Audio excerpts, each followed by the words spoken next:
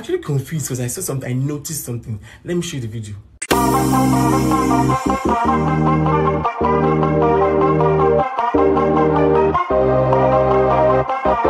So did you guys notice anything in that video? Something odd in the video.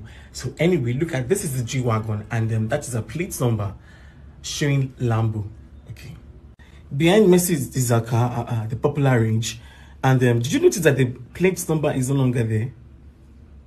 So I've been wondering, why did Messi remove the plate number on her range and put it on the G-Wagon? I hope it's not what I'm thinking.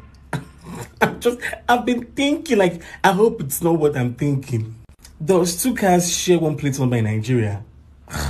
Don't let anybody operate on social media.